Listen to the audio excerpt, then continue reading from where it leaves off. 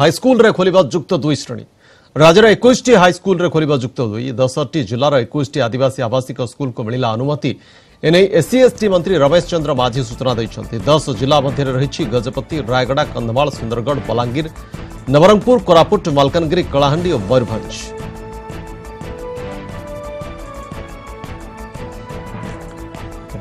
पुणि थे कही रखा चाहबू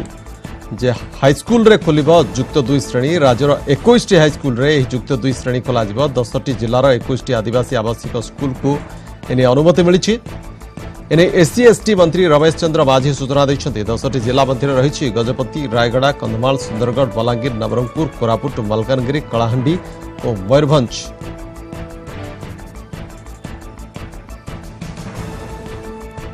পরবর্তী খবর যা